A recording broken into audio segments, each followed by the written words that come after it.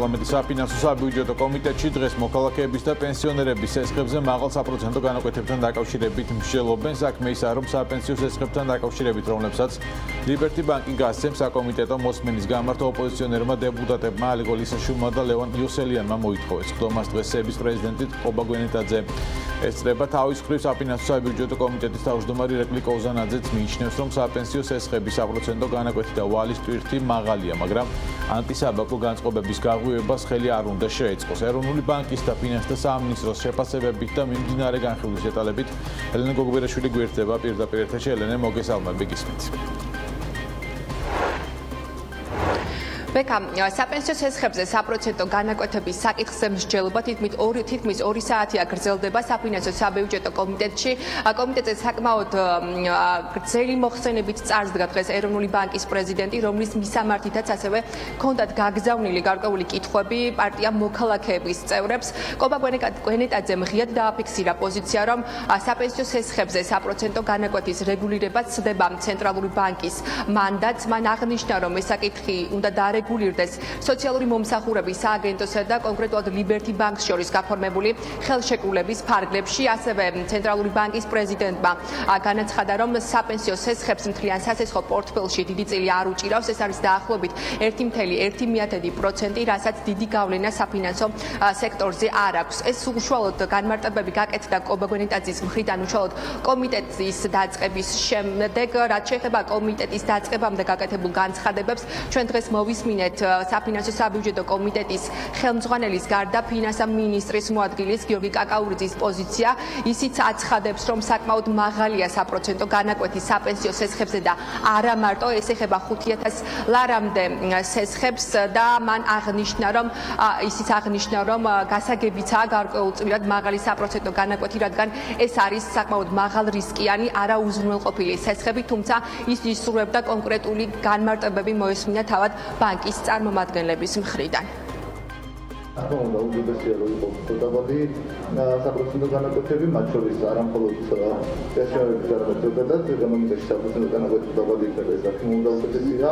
თუმცა კიდევ ერთ პრობლემებს უნდა გავუთვალისწინოთ, რომ ეს არ არის შეუძლებელი სესხი არის შედარებით მაღალი სქიანი არის ასევე ის რომ უძნურ ყოფილი არ არის ეს სესხი და შესაბამისად პირველ რიგში ბანკის პოზიცია უნდა მოვისმინოთ რისგან შედგება ეს საპროცენტო განაკვეთი და რატოა ის რაც დღეს არის. იმაჩნია რომ საპროცენტო განაკვეთები საპენსიო სესხები ვალის ტვირთი არის მაღალი და ჩვენ ყველაფერს სახელმწიფო უნდა გააკეთოს იმისათვის რომ ჩვენს პენსიონერებს 100000-ამდე პენსიონერი ყავს გომარეობა ყოველდღიური გომარეობა შემოსუბუქოთ მაგრამ ამავდროულად საუბრობ დაგვაიწყოთ ეს ფორმა. არ უნდა გავაღვაოთ, გავაღვიოთ საბანკო, ანტისაბანკო განწყობები როგორც კონკრეტული ბანკის, ასევე მთლიანად საბანკო სექტორი.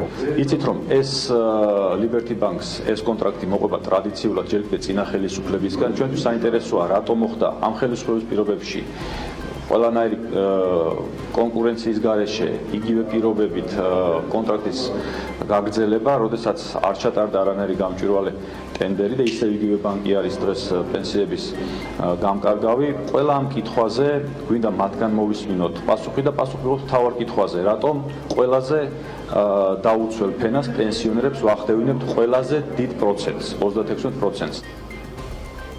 დღეს ფინანსთა მინისტრის მოადგილეს გიორგი კაკაურიძეს ასევე ვკითხეთ დაფარა თუ არა საქართველოს მთავრობამ ევროპული ობლიგაციების ძირი თანხა მაკურებელს შევახსენებ რომ დღეს არის ბოლობა და როდესაც საქართველოს მთავრობას უნდა დაეფარა 10 წლის წინ გამოშვებული ევროობლიგაციების ძირი თანხა რომელიც შეადგენს 500 მილიონ დოლარს. დღეს როგორც გავარკვიეთ და მოვისმინეთ განმარტებები გიორგი კაკაურიძის მხრიდან საქართველოს მთავრობამ აღნიშნული ბალი გასულ კვირას დაფარა, თუმცა უნდა აღინიშნოს ის, რომ ეს ინფორმაცია დღეს გავიგეთ პირველად და როგორც აღმოჩნდა, მხოლოდ მედიამ არა, დღეს საფინანსო საბიუჯეტო კომიტეტის ხელმძღვანელსაც ვკითხეთ აღნიშნული ვალდებულების შესახებ და ირაკლი კოვზანაძემ გითხრა, რომ აღნიშნული ბალის დაფარვა მოხდებოდა დღეს, თუმცა როგორც გიორგი კაკაურიძემ თქვა, აღნიშნული ბალი უკვე გადახდილია გასულ კვირას.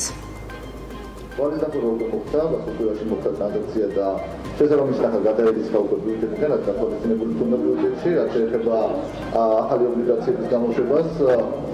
თუ გრამპირაში არის შესაბამისი პროცედურები განხორციელდება, ვფიქრობ, რომ ბოლოს ყოლება ინვესტორები, გამარჯვებული ინვესტორები შეისყიდიან ჩვენს აქციებს და მომდევნო დღეებში ტრანზაქცია მოხდება, რომელსაც ჩამოიწყება ეს ნახევარი რაც აი ახალი ევროობლიგაციების გამოშვებით ნამდვილად. ევროობლიგაციებთან დაკავშირებით წადება მიდის და ხო რომ ხდება დღეს, ჩართული არის ამ პროცესში წამყვანი საერთაშორისო ბანკები და ვფიქრობ, რომ ის ბოლოს მომდევნო ათი განმავლობაში ეს განთავსება მოხდება, ასევე შესაბამისი სამხედრო დაფარვაც და divertir. Tá cartando. დღეს გიორგი კაკაურიძეს ასევე ვკითხეთ მთავრობის მხარდამჭერ პაკეტთან დაკავშირებით, როგორც ცნობილია, ეკონომიკის მხარდამჭერი პაკეტის მეოთხე ეტაპის ფარგლებში საქართველოს მთავრობამ გარკვეული ფინანსური დახმარება გაუწია როგორც მოქალაქეებს, ასევე კერძო სექტორს და ჩვენ დავსვით კითხვა ხომ არ განიხილავს. მთავრობა დამატებით მხარდამჭერი პაკეტის გაგრძელების საკითხს, თუმცა როგორც დღეს გიორგი კაკაურიძისგან მოვისმინეთ, ამ საკითხზე მსჯელობა არ მიმდინარეობს, ეს დამატებით საბიუჯეტო დეფიციტს გააჩენს, რაც ასევე დამატებითი ცნა ნახი იქნება ეკონომიკაზე.